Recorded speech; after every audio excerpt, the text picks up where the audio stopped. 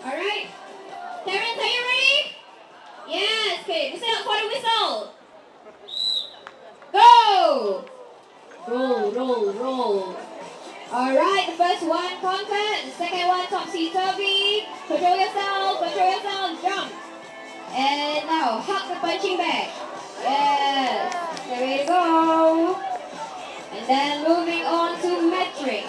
This is the one with, you need a lot of arm strength. Right, looks like, it looks like quite easy for him. Looks like he's playing on a monkey bar.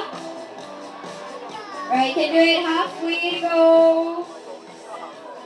Okay, nice one. That's great.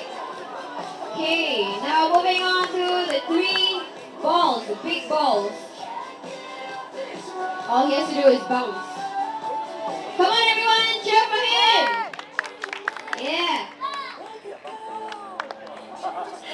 He's already at the last part of the course now. It looks like all the contestants are very good, huh?